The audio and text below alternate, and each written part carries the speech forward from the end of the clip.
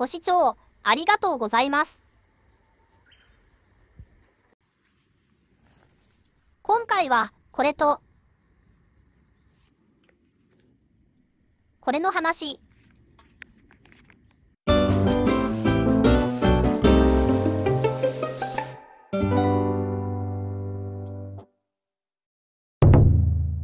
蜂対策、アイテム検証。女王蜂が巣を作り始めました。昨年、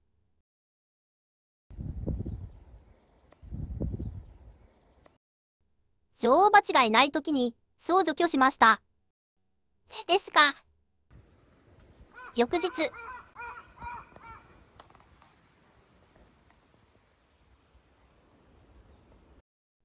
また作ったの。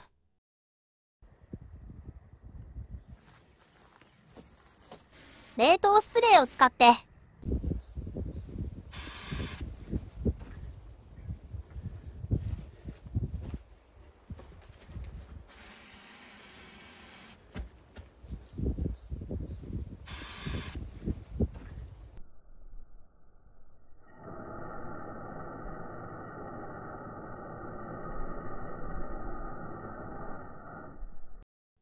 下に落ちた時には動かなくなっていました。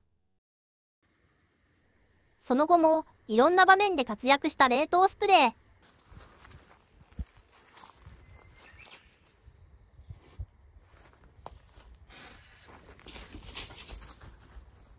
怖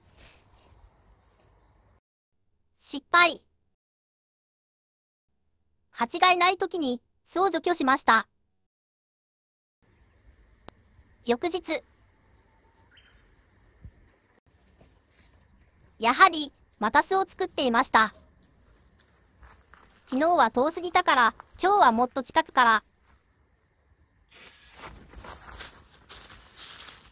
失敗。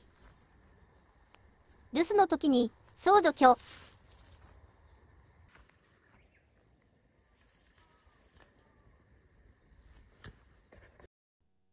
原因は残量が少なく、噴射力が弱いから、多分、別のアイテムを試します。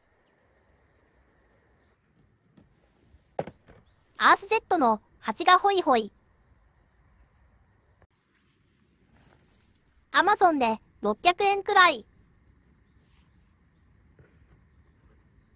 女王蜂を捕らえることができれば巣ができないので蜂も増えません。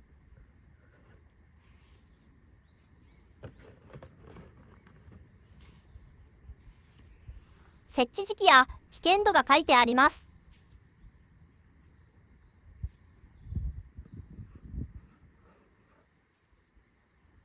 その他に注意点も。大事なところをまとめると、早朝や夕方以降の蜂が少ない時間に設置する。人通りが多いところには設置しない。子供、ペットが触れない場所に設置する。回収時は生きている蜂に注意する。使い方も箱に書いてあります。効果的な設置場所も蜂を捕獲できるメカニズム設置してみます。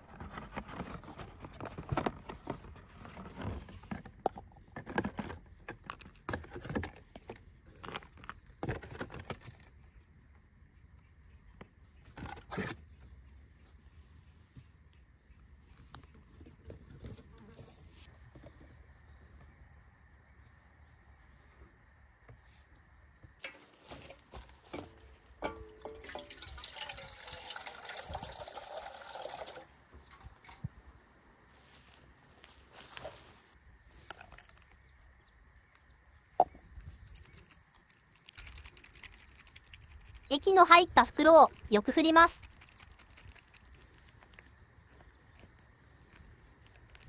袋を開封して容器に入れます。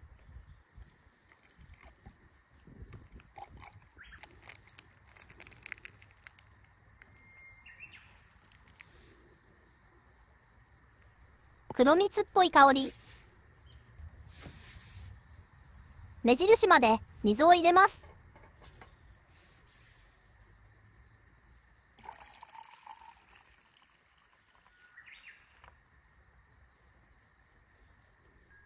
蓋と容器のマークを合わせ、カチッとなるまで回す。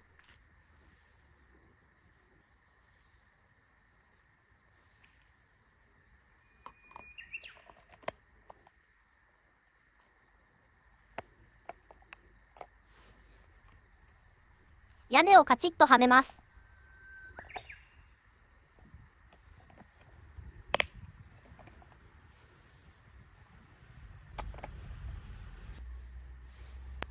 吊り下げ紐を取り付けます。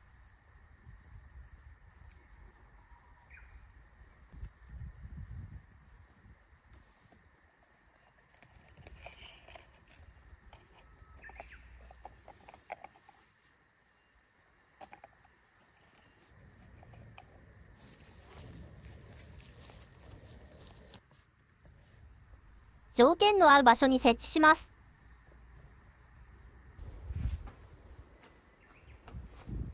高さ1から3メートルに。昨年もこの辺りに巣を作られました。日陰で雨が当たらない場所に巣を作るらしいです。巣を放置すると7月くらいから働き蜂が羽化するので、その前に。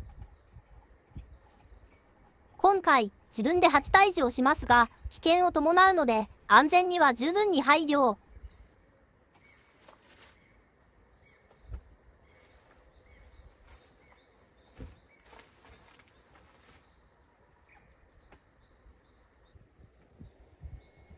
設置完了。翌日。何かいるけど多分君じゃない。そして。また作ったの。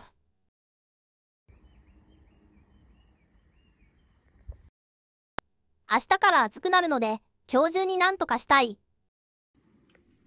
ってことで冷凍スプレーを購入。今回はアース製薬のコーラスジェットを使ってみます。マイナス85度で冷撃するスプレー。殺虫成分不使用なので小屋の中でも使いやすい。アマゾンで1200円くらい。マイナス85度なので、フマキラーのと同等かな。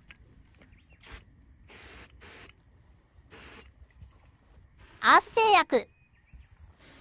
スマキラー。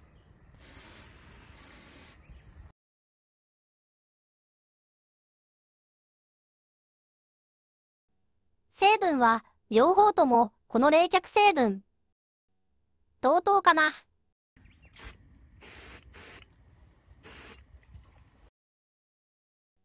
使い方は50センチ以内の距離から3秒程度噴射。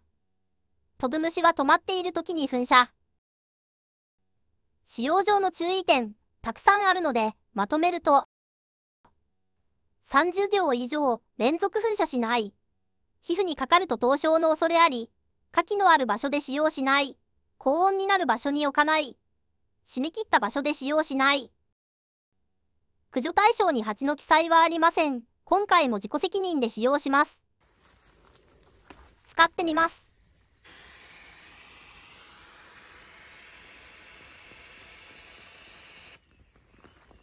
下に落ちずに固まった感じ。